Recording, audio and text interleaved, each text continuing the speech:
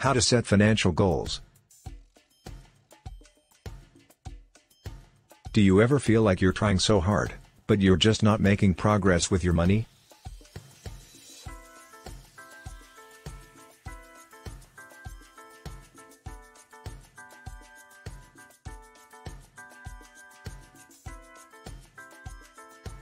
Or like you've been working your butt off, but when you look around, you never have much to show for it.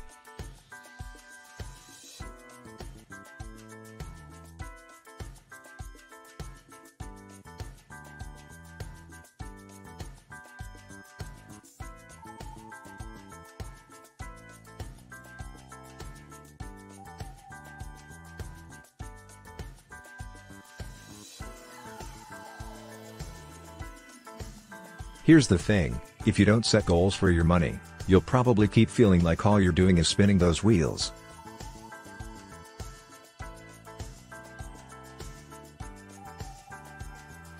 If you want to finally get moving, it's time to make some financial goals.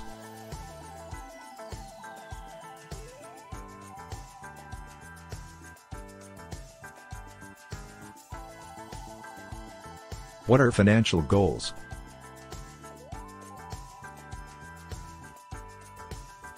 A financial goal is any plan you have for your money.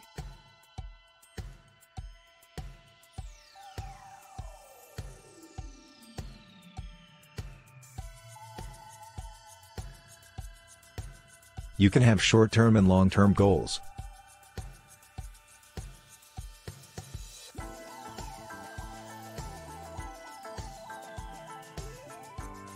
Your goals should give you focus and keep you accountable, no matter how long they take to make happen.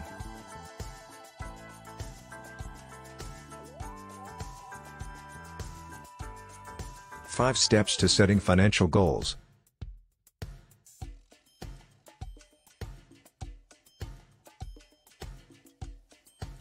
Number 1.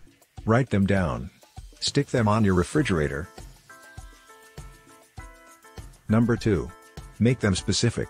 If you need to pay off a wedding set aside an exact amount monthly for that bill and do not spend it on anything but the wedding bill.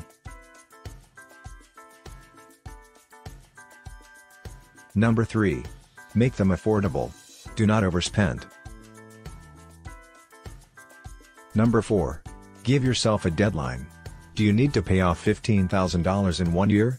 That means you will need to save $1,250 each month.